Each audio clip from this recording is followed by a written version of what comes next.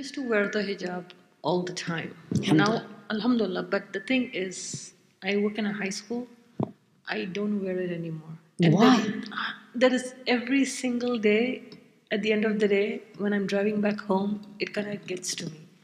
As you said, it's just that I don't know. I'm so overwhelmed trying to wear it, and I hate myself for that. Frankly speaking, I always question myself, like, why am I not wearing it?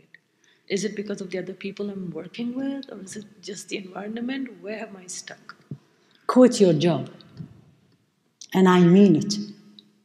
If my job gonna take me from Allah subhanahu wa ta'ala, it doesn't worth it. As I always say this to myself, don't sell your akhirah for your dunya. It's a lost stock market.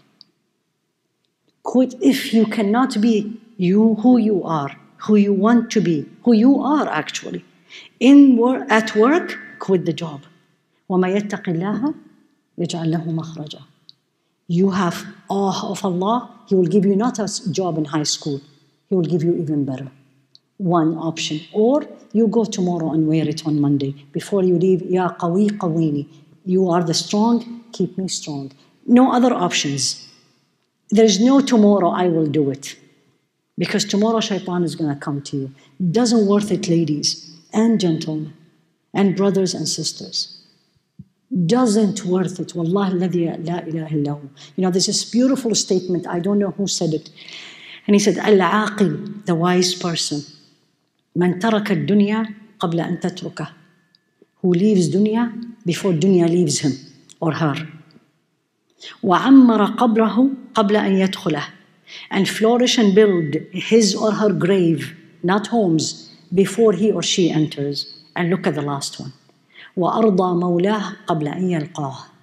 And he pleased his Lord before he or she meets him. Put these three in you before you go to school. When you are when you are getting dressed, get ready. Put these three and see if you're not going to do the hijab. And I ask everybody in this room, including my myself, please make a dua for you, because you don't know whose dua will be responded, who Allah will accept. And if she gets strong, Allah knows how many people who have the same issue. They will see you, they will follow you. You know, it's a domino effect.